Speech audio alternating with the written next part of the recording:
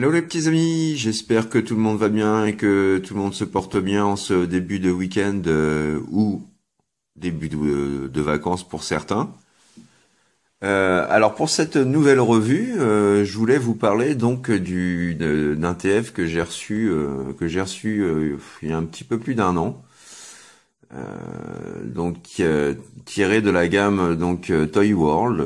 il s'agit du Toy World 01B, donc la seconde version du Hegemon en hommage à Megatron. Et j'ai reçu également cette semaine, et donc c'est pour ça que j'ai décidé de, faire d'une pierre deux coups. J'ai reçu cette semaine donc de, de chez ReproLabel euh, une planche, euh, enfin deux planches de stickers justement euh, qui lui sont qui lui sont dédiées. Donc bah, je vais vous commencer, je vais commencer déjà à vous parler des, des planches de stickers dans un dans un premier temps. Donc voilà ce que j'ai ce que j'ai reçu. Donc bien entendu les voilà les les sempiternelles planches de la sempiternelle planche de stickers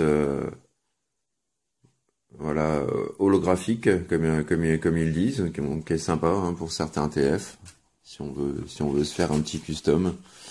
Et puis donc voilà les, deux planches. Alors la première, donc qui comporte essentiellement des éléments euh, de en fait euh, chrome euh, chrome brossé, donc métal brossé pour le voilà pour, euh, pour lui donner un peu plus de brillant, puisqu'à la base le, le, la matière est plutôt est plutôt mate. Et donc euh, cette autre planche-ci, alors ça, bon, je les utilise pas puisqu'ils sont euh, réservés en fait à la partie silencieux, qui hélas n'est pas fournie avec cette seconde version de, de, Megatron. Donc voilà, deux, deux, petites planches pour venir embellir un petit peu le, le petit père Megatron. Donc ce qui est bien ce qui est le bienvenu. Parce que moi, personnellement, je, suis super fan du Hegemon. Je, le trouve vraiment formidable. Donc maintenant, il est largement, mais bon, largement dépassé par euh, le par le Apollyon. Hein, ceux qui l'ont euh, savent de quoi je parle. Euh, mais mais aujourd'hui encore, il n'en reste pas moins un, bon Tio un super hommage au G1 pour tous ceux qui, comme moi, sont fans du, du, de Megatron en tant que en tant que gun et non pas en tant que tank ou vaisseau ou je ne sais quoi d'autre. Donc euh, voilà, c'est c'est vraiment plus pour les les, les, nostalgiques. Euh, donc on va parler un petit peu du, du packaging, donc le, comme euh, comme pour le, le, Toy World Hardbone dont je vous ai parlé il y a, il y a quelques semaines. Donc on se retrouve une fois de plus avec un un packaging on ne peut plus sobre. Voilà, une boîte vitrine toute simple. Donc avec euh, ceci dit un, artwork plutôt sympa qui montre bien le, visage haineux, euh, voilà, bien bien charismatique de, Lord Megatron. sur le côté, on va se retrouver, voilà, avec une photo euh, du personnage, enfin du, mode robot, tel qu'on l'a dans la boîte. Dos, euh, voilà, même chose, mode robot, mode gun. Donc un Walter P38 hein, pour être précis. Voilà, donc sur le côté, euh, toujours voilà le, même artwork. Sur le dessus, rien de spécial. Hein, L'estampe euh, Toy World, le logo, le nom du, enfin la, série, la série du Transformers en question. Voilà, en dessous les indications, interdit aux moins de 15 ans, attention les jeunes. le Pac-Man triste, euh, voilà, et puis d'autres, certainement d'autres précautions.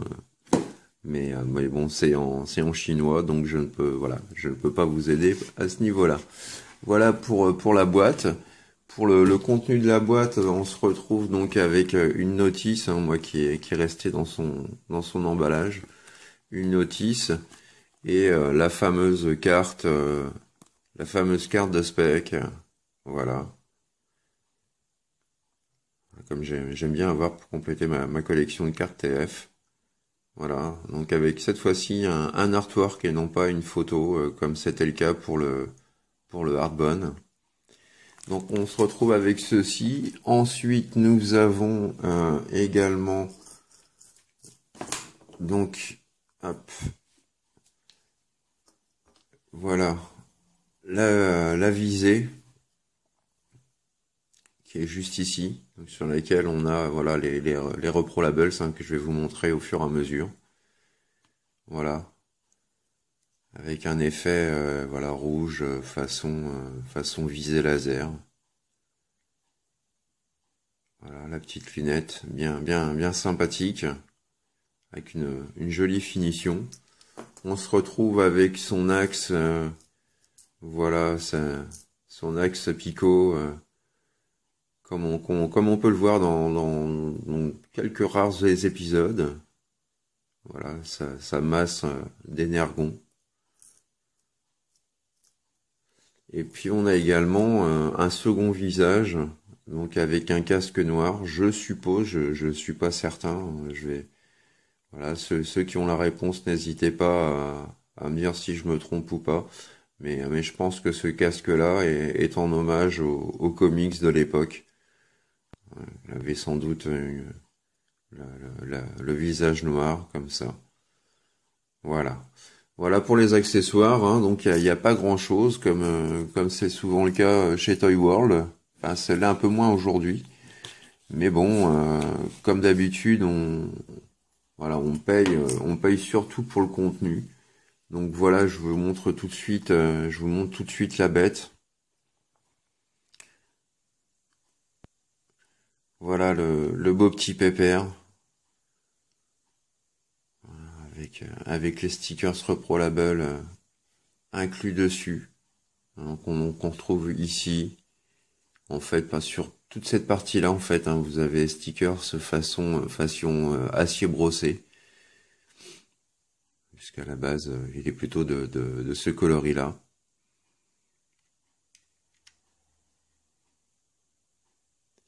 un petit peu pour le tour. Vraiment une, superbe pièce. Ah, ça faisait un moment que je, le voulais, puis bon, j'arrivais pas à choper la première version, parce que l'avantage de la première version, c'est qu'on a, euh, on a cette partie-là qui avait le, le, G1, donc avec le, silencieux, et puis euh, voilà la crosse, la crosse de recul de précision. Voilà qu'on n'a pas avec celui-ci. Hein. Avec celui-ci, je le rappelle, on a simplement euh, simplement la lunette. Donc cette lunette qu'on peut, comme pour l'arme et comme pour euh, le jouet G1, donc fixer sur le dessus. Et voilà. Avec un, joli petit bruit. Sympa comme tout. Voilà le cran de sûreté qui est enclenché, hein, qu'on peut, euh, qu'on peut baisser. Vraiment, euh, voilà, superbe, superbe esthétique. Alors au niveau du, du rendu, bon, j'ai j'ai pas non plus euh, la paluche de Hulk, mais j'ai pas non plus une main de une main de fillette. Donc j'ai quand même une bonne main. Donc voilà ce que ça fait une fois en main, justement. Voilà. Donc on voit qu'en termes d'échelle, on est dans quelque chose de, plus réaliste peut-être que le Hegemon et surtout que le le MP5, donc le, Megatron Masterpiece, qui lui était carrément, voilà, bah, qui était plus fait pour la paluche de Hulk en fait, bien que bon, Hulk on a un peu, trop rien à foutre d'un flingue quoi. Mais euh, voilà, le Masterpiece malheureusement était, était énorme. Le Hegemon, je pense qu'il est un petit peu au-dessus en termes d'échelle. Le Hegemon pour moi est, vraiment voilà juste juste comme il faut. Voilà, Napoléon, ouais, il est un peu plus, un peu plus balèze aussi. Donc voilà, on peut faire un, comparatif avec, bien entendu, euh, voilà, son, son papa euh, ou son ancêtre, le, le G1. Donc euh, voilà, on se rend compte malgré tout qu'en termes de finition, euh, voilà, le G1 a toujours la cote dans mon cœur. Euh, magnifique, hein, avec des, des, de vrais chromes, c'est pas des autocollants, c'est du vrai chrome. Voilà. Une gâchette fonctionnelle et puissante. Donc une visée, voilà, bon, toute simple, hein, mais elle était déjà là à l'époque. Voilà un petit peu euh, du diecast, hein, du vrai diecast, comme, euh, comme on aimait l'avoir à l'époque, comme on en trouve difficilement aujourd'hui. Donc euh, en termes de poids, c'est voilà. En termes de poids, bah, c'est tout simple. Le, le Megatron G1 est plus lourd que le Hegemon. Voilà. Hein, donc c'est en partie grâce et à cause, ça dépendra des avis de certains, grâce et à cause donc du diecast. Mais mais voilà quoi, en termes de en termes d'armes. Je trouve que le euh, celui-ci est plus moderne. Euh, le, le G1 fait vraiment, voilà, c'est vraiment une réplique parfaite de l'arme euh, du Walter P38, quoi. Il n'y a pas, il a pas à chier. Voilà, donc, hop là, il se fait vieux, il a tendance à se débloquer un petit peu de partout. Voilà pour la comparaison. Voilà, donc au niveau des, des reprolables, bah là c'est pareil, hein, on en retrouve juste ici. Euh, ici, là, là, cette partie-là, celle-ci, celle-ci, ici, ici. Voilà, toute partie. Alors bon, c'est sympa parce que c'est vrai que voilà, ça lui donne quand même, ça lui donne une belle gueule quoi. on voit que c'est quand même un jouet, mais euh, mais, euh, mais voilà, quoi. Moi, pour moi, avoir une réplique du G1 comme ça, c'est juste du grand, euh, du grand bonheur. Voilà, les, les, petits amis. Donc, on va pouvoir passer, bah, on va pouvoir passer euh, tout simplement au mode transformation, qui est sympa, un peu casse-bonbon, comme peuvent l'être tous les Mégatrons, hein, qui ont toute une particularité en termes de transformation, qui ont cette petite chose dont, dont je vais vous parler durant ma revue qui fait grincer les dents, quelle que soit la version du, du Megatron. Hein. C'est vrai que le, le, G1 est quand même assez difficile à, égaler euh, aujourd'hui encore. Donc voilà, on va passer maintenant donc à l'étape euh, transformation. Allez, à tout de suite les amis. Voilà, donc pour la transfo, euh, ben, on va commencer donc. alors c'est du semi-partforming. Hein. Certains, certains comme moi vont préférer passer à l'étape partforming par praticité. D'autres vont, vouloir le transformer naturellement. Donc sachez qu'à la base, le park farming n'est pas prévu, c'est simplement qu'on peut le faire pour se faciliter la tâche. Donc moi, c'est ce que je fais perso. Alors pour la transfo, donc on va commencer par retirer euh, sa lunette, voilà, qu'on pose de côté. Ensuite, on va venir baisser le, le cran de sécurité, voilà, position comme ceci. Alors ensuite, moi, en termes de part forming, donc ce que je vais faire, c'est je vais venir dégager tout de suite, hop, voilà, donc les jambes, de façon à venir, hop, voilà, enlever tout de suite la gâchette. Donc on peut la laisser, hein. moi je l'enlève vraiment, je vous le répète, c'est vraiment par praticité de façon à pouvoir le transformer un peu plus, euh, un peu plus facilement. Et idem pour le canon. Donc, je le prends comme ceci et je le détache. Voilà, on peut le laisser, moi je l'enlève également. Donc voilà, donc après on se retrouve avec cette partie-là à transformer. Donc voilà, on va avoir quelque chose d'un peu plus pratique, d'un peu plus, euh, d'un peu plus plaisant.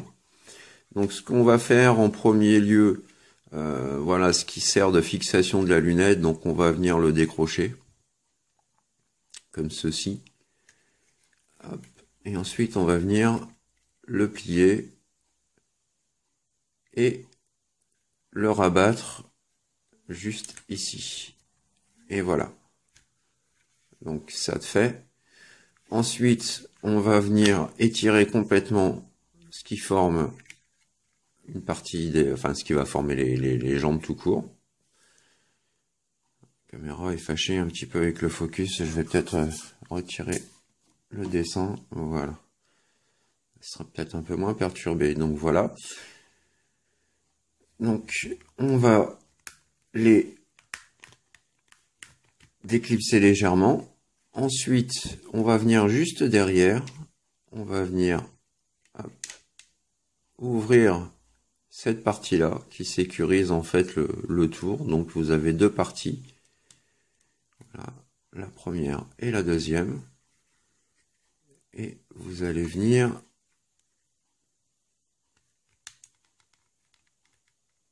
hop, voilà, décrocher cet ensemble-là. Idem ici, mais dans l'autre sens. Voilà. Donc ça va vous donner quelque chose comme ça. Alors ensuite, ensuite, ensuite, on va venir, voilà, faire basculer cette partie-là vers le bas, de façon à pouvoir transformer ce qui va former le torse, la tête et les bras. Donc, on va venir séparer cette partie-là en deux.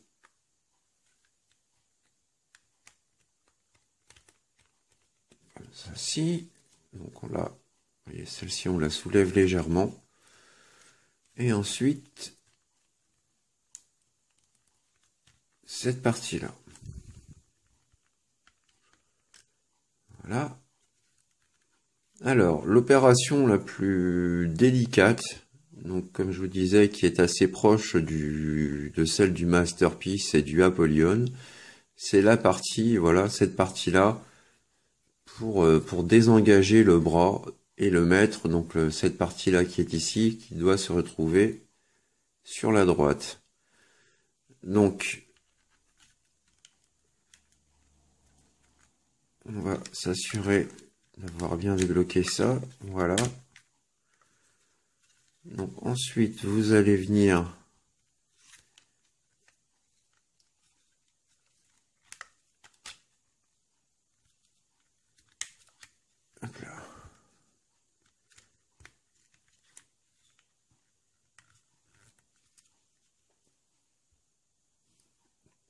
Vous prenez cette partie-là, là, juste ici, du, du, bassin.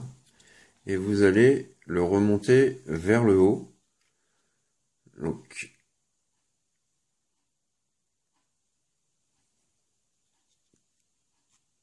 comme ceci. Voilà. Ensuite, vous allez placer ça comme ça. Et donc, nous allons venir décacheter cette pièce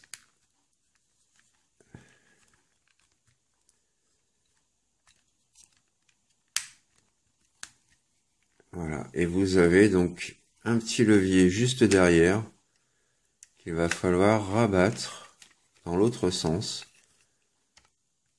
avec voilà du doigté et beaucoup de douceur pour ne pas stresser donc le plastique et voilà vous le placez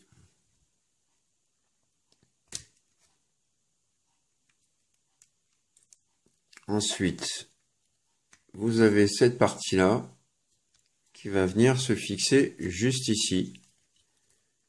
Voilà, le clic, le clac. Et ensuite, voilà, comme ceci pour le moment. On va se remettre à l'endroit. On va placer l'autre épaule dans le même sens. On va venir effectuer à nouveau une rotation vers le bassin. Et vous avez donc ces deux pièces-là, celle-ci et celle-ci. Donc celle-ci, vous allez la rabattre vers l'arrière. Hop. Comme ceci. Et celle-ci, vous allez la rabattre également vers l'arrière de façon à faire un torse un peu plus petit. Enfin, un torse, un buste du moins, un bassin. Voilà, un bassin, c'est mieux. Un bassin. Avec des petits poissons. Hop, donc ensuite, vous venez fixer le tout. Vous allez venir... Ah, c'est un petit peu sombre. Rabaisser donc ces parties-là. Idem ici. Alors là.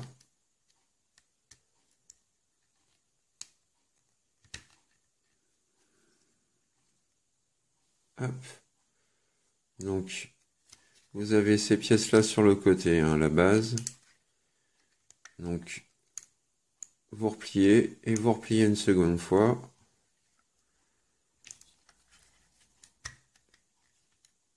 Le bassin est bien fixé. Donc ici, même chose. Cette partie-là, vous la rabattez vers l'intérieur. Et vous rabattez cette partie-là comme ceci. Et vous ramenez le tout vers l'arrière.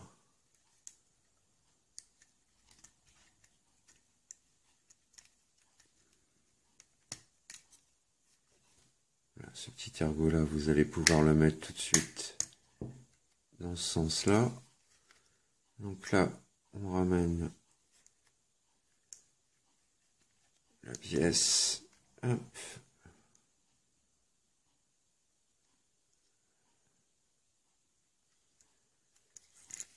Comme ceci.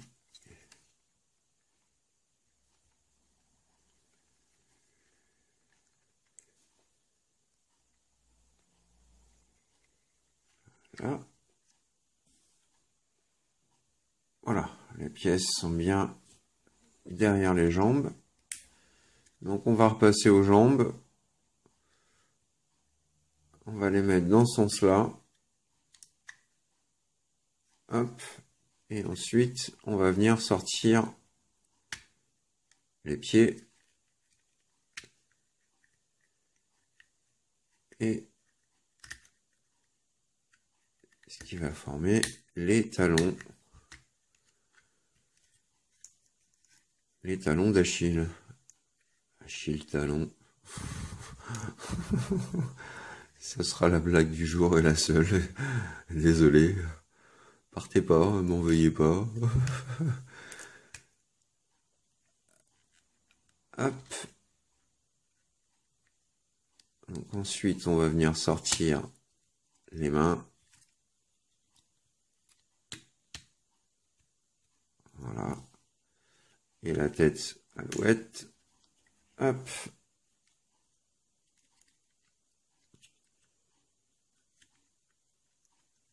Et voilà.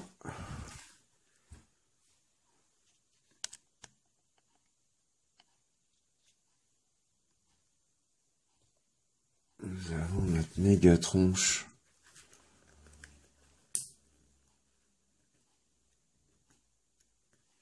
Alors ensuite, on peut lui remettre ses accessoires.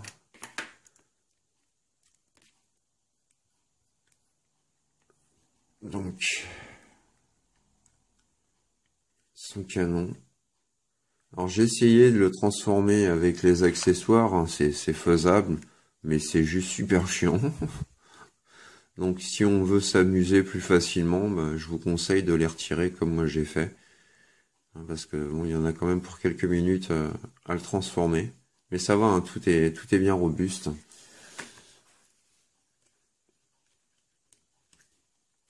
Voilà, on n'oublie pas son canon à fusion.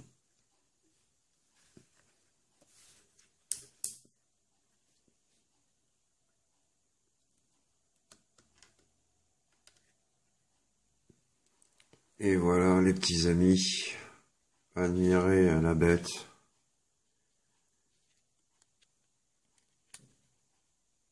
Un super beau petit pépère, absolument sensationnel.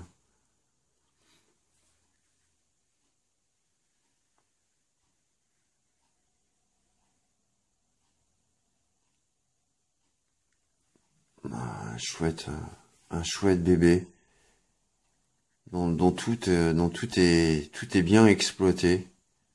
Une nouvelle fois. Avec un, superbe light piping euh, en rouge. Vraiment très très beau euh, très très beau robot. On peut faire un, un zoom sur sur son visage. Voilà juste, juste terrible. Voilà.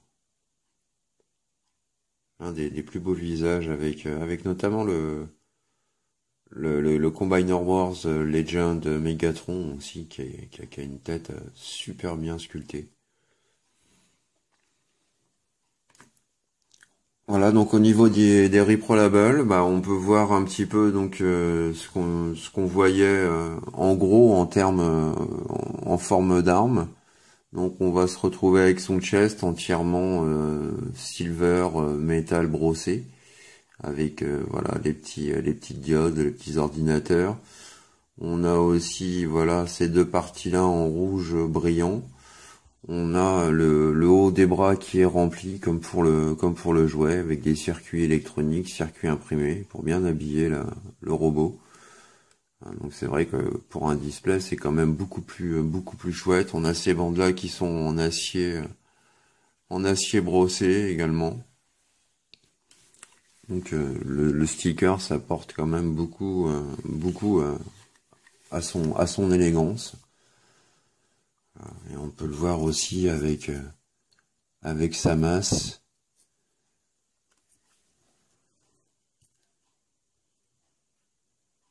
Voilà.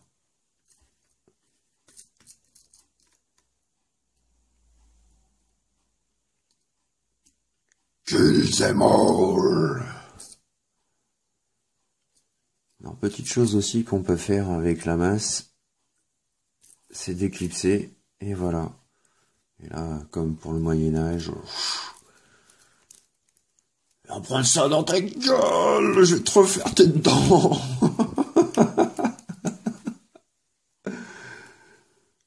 voilà. Non, un superbe, superbe pépère, quoi. Absolument magnifique. Voilà, ça fait plusieurs mois que je l'ai et j'en suis toujours autant fou. Vivement un Takara, vraiment, pour, euh, pour nous faire quelque chose de, voilà, de correct à tout niveau. Voilà, donc on va pouvoir refaire un, petit topo aussi euh, sur un comparatif d'échelle pour vous donner une idée à peu près, parce que comme je vous l'avais expliqué sur ma revue précédente euh, Toy World du, Hardbone euh, avec Hardhead, le, masterpiece en fait est une est une échelle hybride, une échelle un peu un peu bâtarde entre guillemets. Alors c'est pas une insulte, hein, c'est simplement que, comme je vous l'avais expliqué, ils sont souvent euh, trop grands pour du chug euh, et euh, trop petits pour du masterpiece. Alors on va voir par exemple ce que ça, ce que ça donne. Donc en termes d'échelle, avec le, Optimus Prime Classics, voilà, donc qui est sorti, ça fait quand même un petit paquet d'années, qui est une petite merveille. Et donc là, on peut se rendre compte qu'en termes de taille, bah, Megatron est vraiment beaucoup trop haut, beaucoup trop grand pour, pour Optimus.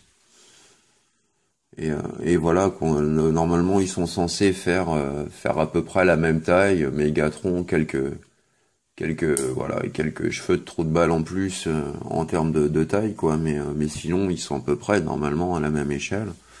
Et là, donc, avec du chug, bah, c'est, voilà, c'est trop, c'est trop grand avec euh, les dernières gammes euh, Combiner Wars, euh, c'est déjà un peu mieux. C'est déjà un peu mieux, si ce n'est que je trouve l'Optimus absolument à chier.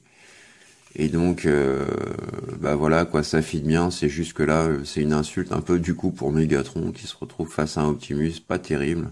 Moi, je l'appelle Gorilla Optimus parce que voilà, on dirait un peu, un peu, un peu un gorille quoi. Mais bon, voilà c'est pas c'est pas le sujet actuel. Donc euh, avec un, un Combiner Wars, bon, avec l'Optimus, ça va déjà un peu mieux. Enfin, c'est c'est même voilà, c'est même pas mal du tout. Donc éventuellement, euh, pourquoi pas.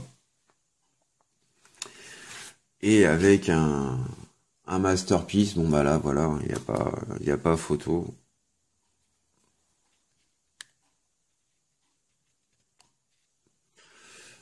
Voilà ce que ça, ce que ça représente. Donc, euh, bah, il est pas, pas bien grand. Voilà.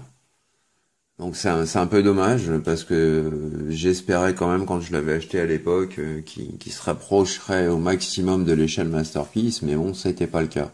Néanmoins, j'en suis quand même fou amoureux, quoi, parce que parce que c'est vrai que c'est une super figurine euh, qui, qui, déçoit sous...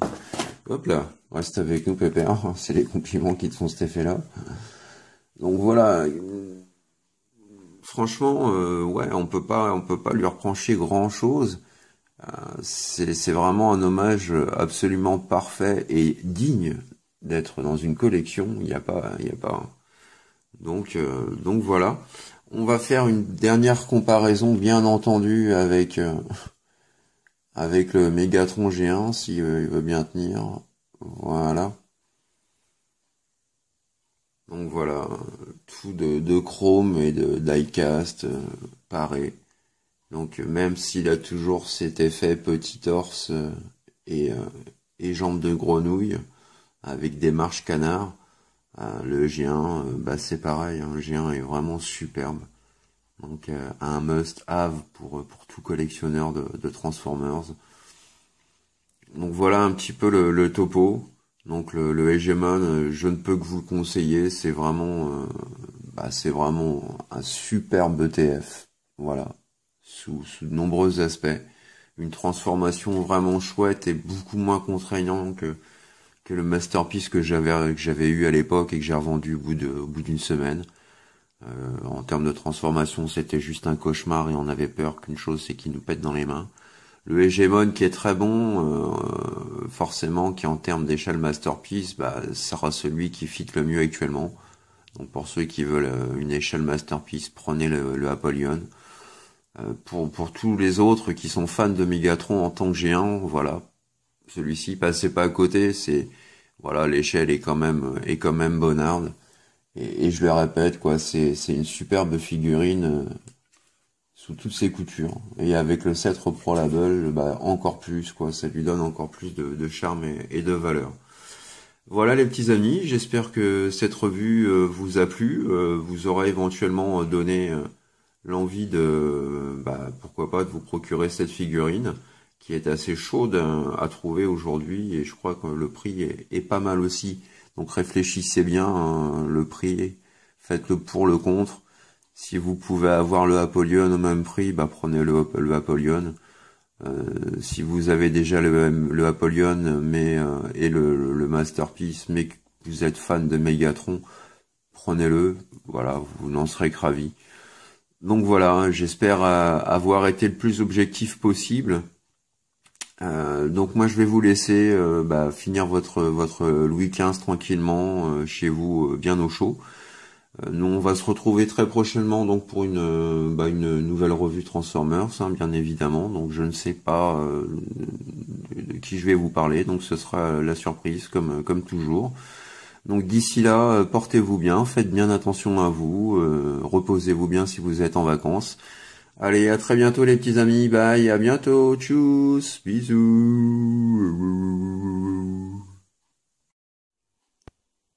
Il paraît que Megatron me demande en duel. Je ne connais pourtant pas de Masterpiece Megatron. Voyons voir ça. Ah oui, il me semble avoir percevoir quelque chose.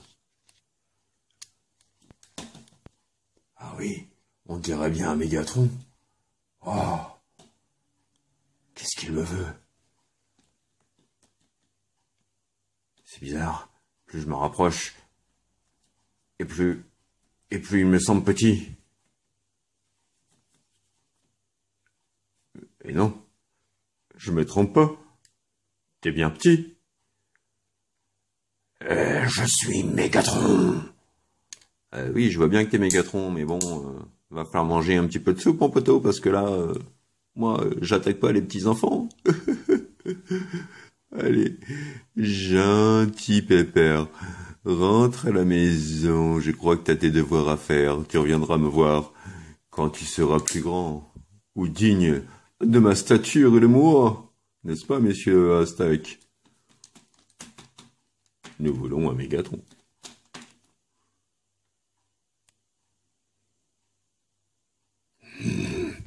Tu le prends comme ça.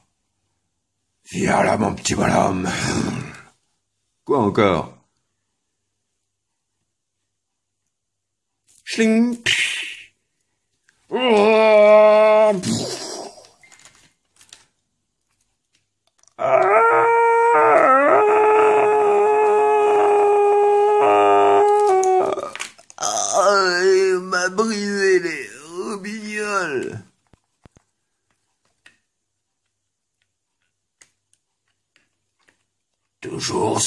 se fier, ne, toujours se méfier des plus petits que soi.